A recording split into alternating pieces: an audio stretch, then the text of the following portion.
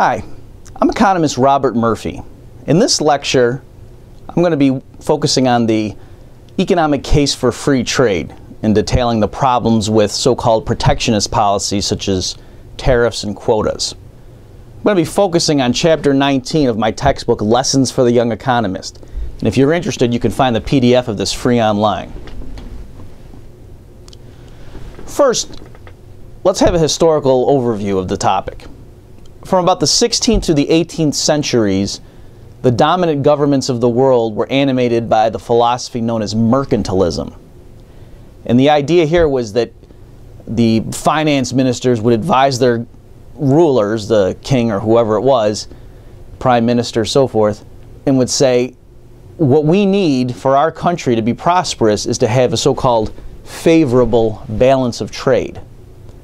Specifically, what that meant was that exports would be greater than imports.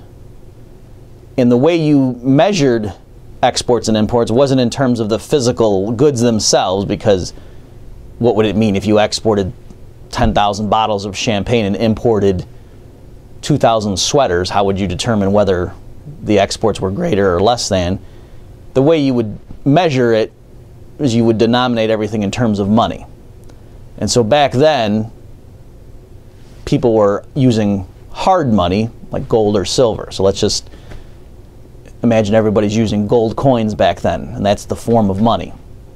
So, what it would mean if a country had a so called favorable balance of trade where exports exceeded imports is that foreigners would be spending more total gold buying stuff from your people than your people would be spending gold on stuff made by foreigners. And so, if your country had a favorable balance of trade, what that would imply is that there would be more gold flowing into your country than flowing out. So, on net, your country would see rising balances of gold year after year, so long as it kept up with its favorable balance of trade. So, you can understand why the finance ministers giving advice to their leaders would think that was a good state of affairs. At the household level, it certainly seems as if the way to get ahead financially, the way to increase your wealth year after year is to sell more than you consume, right? To have a higher income than your consumption, and that that could manifest itself by more money coming into your household than goes out, and that your cash balances grow year after year. That certainly seems like a better policy than the reverse, doesn't it? And so it was only natural and intuitive that people would think that would generalize in the way a country got richer over time was by selling more stuff to foreigners than vice versa, so that its stockpile of gold or silver would keep getting bigger and bigger year after year. And so governments would enact policies to try to encourage a favorable balance of trade. They would enact policies that would promote exports and would discourage imports. And so there were all sorts of different policies designed for these ends. Perhaps the government would give uh, subsidies to exporters so that foreigners actually could buy products that your producers made at a cheaper price because your own government was helping to defray the cost. Because again, the idea was we want to promote uh, the sale of our stuff to foreigners. And maybe they would enact taxes or other kinds of uh, restrictions on goods coming into the country. Because again, the idea was we want to discourage our people from buying stuff made from foreigners. We want our people, when possible, to buy local, to buy or you know buy domestic. If they, they didn't use those terms, but that's the idea. And so I'm actually getting ahead of the uh, discussion here by using more modern parlance. Right, that if you if you see where the mercantilists were coming from, notice that mentality survives to this day. The only real difference is that nowadays people, first of all, they don't call it mercantilism. Nowadays, a more modern term would be protectionism. But it's the same viewpoint that people think it's a good state of affairs when our country is exporting more stuff than we're importing And the way we talk about it now is to use the phrase a trade deficit or a trade surplus.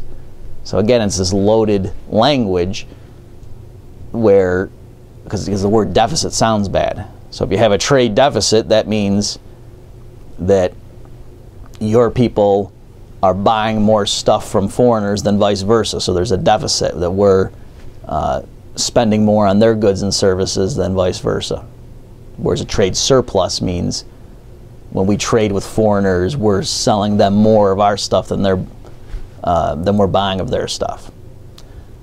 And the other main difference is that nowadays the primary justification for why we ought to have a trade surplus is that people think, oh, that creates jobs.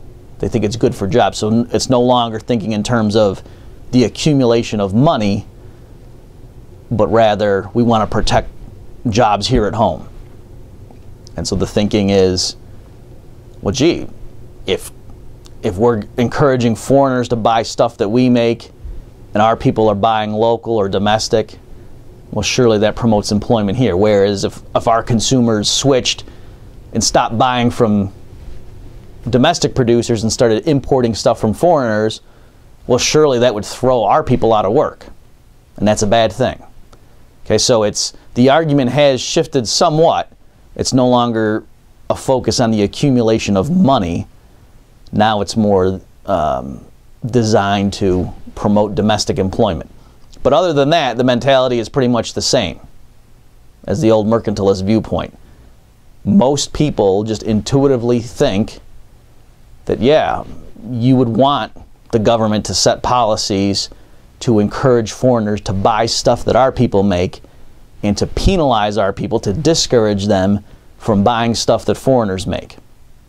So it's, I mean, there, there's all sorts of explanations for why that is, what, why people should have this intuitive reaction.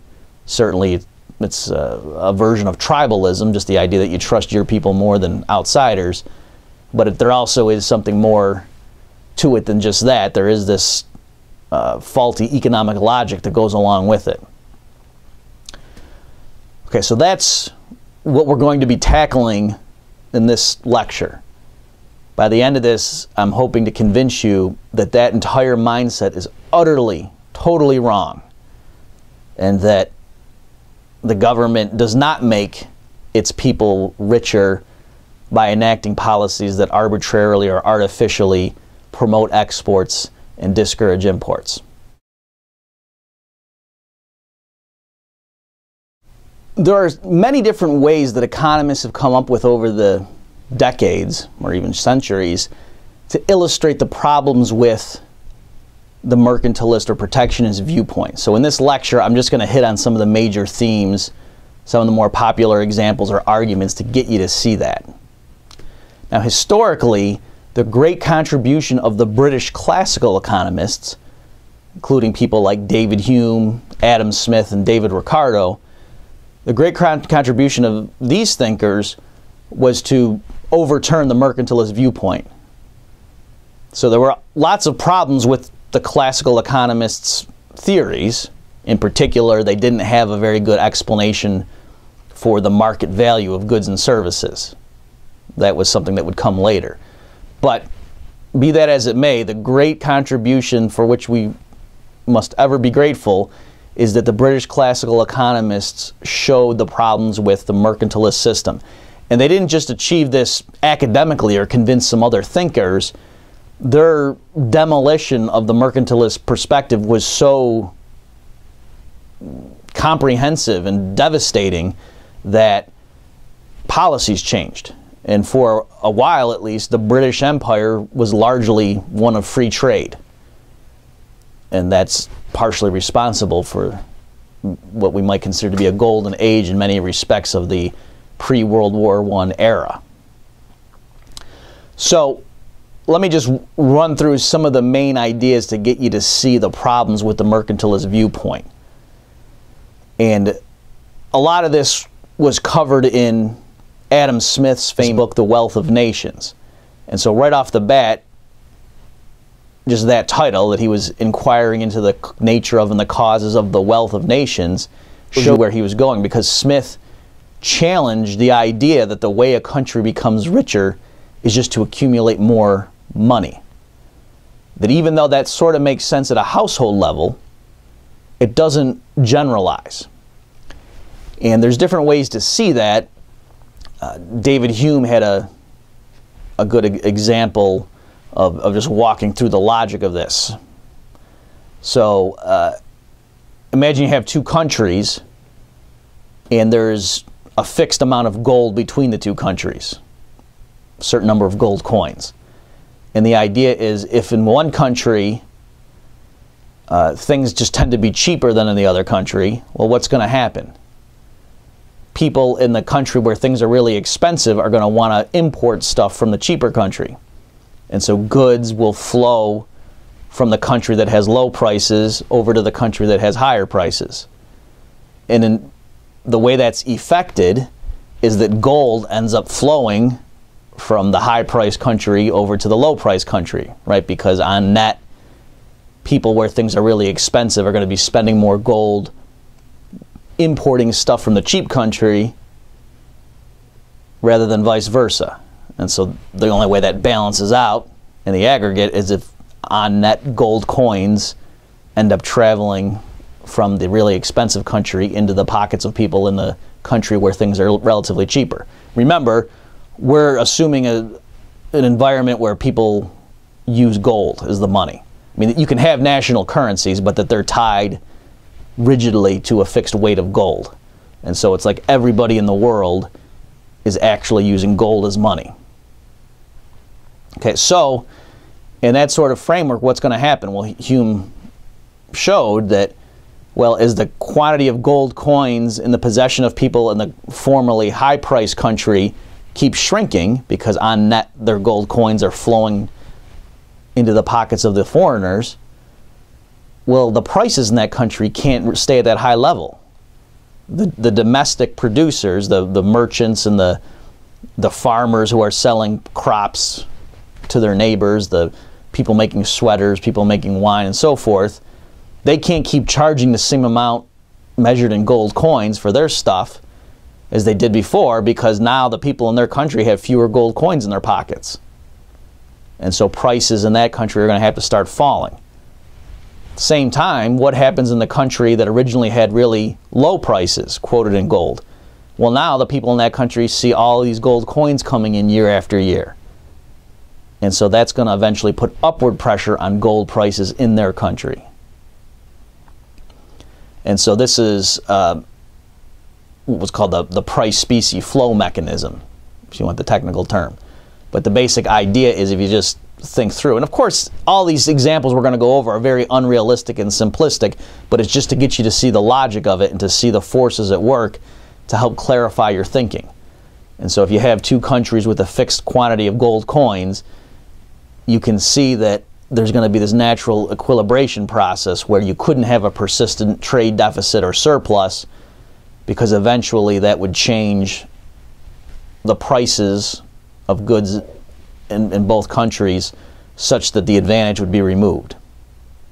Okay, so that's just one example there. And so what this should get you to see is that when you're looking at the country as a whole, it doesn't generalize. It's not true that this the mere accumulation of money is a measure of national wealth because other things equal if you just have more gold coins come in in people's pockets that's just going to make the price of stuff quoted in gold go up it's not that your people are going to actually get to eat more food or that they're going to live in nicer houses or that there's more clothing available it's just that the, if the same amount of real stuff is produced year after year and people have twice as many gold coins, well, to a first approximation, that just means the price of everything quoted in gold is going to be twice as much. So you are a little bit better off in the, in the sense that gold can be used for productive purposes. But in terms of gold just being considered as a unit of money, as a commodity that is used as money, it doesn't matter how many gold coins your people have, prices would adjust so that the same real flow of uh, production occurs year after year. Okay, so that's one way to start seeing that, wait a minute, something's screwy with the mercantilist system. that if the government were successful in enacting policies that made it that year after year our people kept getting more and more gold coins, that doesn't mean that our standard of living would actually rise. It doesn't mean we would end up eating more food or that we would have more carriages or have more arable farmland. It just means we would have more gold coins and that prices quoted in gold would be higher. Okay, other problems with the mercantilist system. It is a zero sum game at best. Think of it this way that for the world as a whole, the trade balance has to be zero. Right? The, the world as a whole, planet Earth as a whole, cannot have a trade deficit or a trade surplus. You can get trade deficits and surpluses if you break it down at the individual level, where you know one country can trade more with the rest of the world than it imports from them. But the world as a whole, obviously, you know, we're not trading with Martians. Okay? So, what that means is, at best, only some countries could successfully implement mercantilist policies. If some governments succeed in enacting a favorable trade balance, then necessarily, just by accounting, there must be other governments that, no matter what they do, suffer from an unfavorable trade balance. So if gold coins on net are flowing into the coffers of some countries, that means gold coins on net are flowing out of the coffers of other countries. Okay, so that's a way to see. I mean, that, that by itself, that observation by itself doesn't prove that mercantilism is wrong, but it does show that it's a very dangerous philosophy because what it does is it pits all the governments against each other. It creates an irreconcilable conflict where, in order for one government to achieve with its economic policies, it needs to force other governments to fail. And so one government's success can only come at the expense of other governments. And so it naturally creates hostility. And in practice, what that would mean is that the, the stronger countries, the, you know, the governments with bigger armies and so forth, would be the ones to be successful because they would impose their will on their weaker rivals. So, one of the benefits from the more uh, correct understanding of the economics, which we'll get to in a, in a little bit here, is that it removes this impetus to uh, conflict. When you understand how free trade works, that's something that everybody can participate in. It makes everybody better off. And so there's, there is no conflict, there's actually a harmony of interests. Okay, so again, that's not a strictly economic point, but I just do want to make sure you realize if mercantilism were correct, then it means everybody's in at best a zero sum game.